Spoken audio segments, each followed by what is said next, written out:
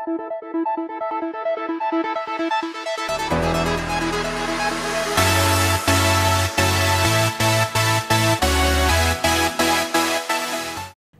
साहब, दंपतियाँ बार बार मैथुन में भाग लेने से तबीयत बिगड़ जाएगी?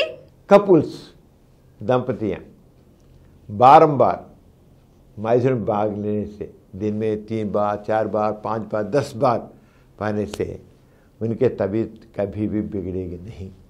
लेकिन कुछ औरत और पुरुष समझते हैं, अक्सर सेक्स में भाग लेने से तबीयत बिगड़ेगी, ऐसा समझते हैं। लेकिन केवल गलत धारणा है। गलत धारणा है मैथुन में भाग लेने से किसी प्रकार का नष्ट नहीं। बारंबार, कितने बार, चाहे दस बार मैथुन भाग लेते चाहो एंजॉय करो। कुछ भी नहीं होगा। तबीयत नहीं बिगड़ेगी बिगड़ेगी। किसी प्रकार तबीयत नहीं बिगड़ेगी। इसके अलावा तबीयत अच्छा बनेगा। तबीयत अच्छा बनेगी, ज़रूर। क्यों?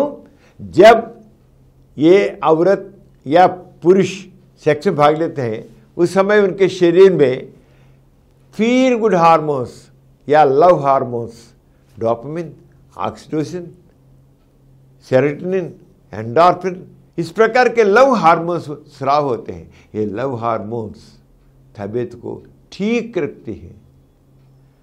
ठीक रखते हैं। उनकी इम्यूनिटी बढ़ेगी।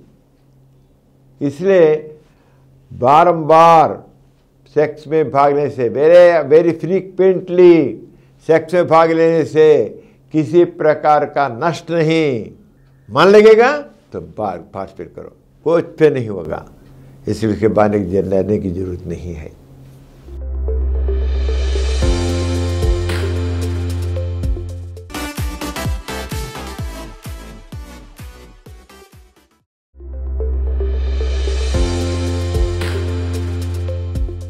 Please download Samaram multi-channel app and watch your favorite channels from your mobile. App available on Google Play Store and subscribe to the channels. और कुछ वीडियो के लिए कृपया हमारे चैनल को सब्सक्राइब कीजिए और नीचे हुए घंटे के निशान पर दबाइए।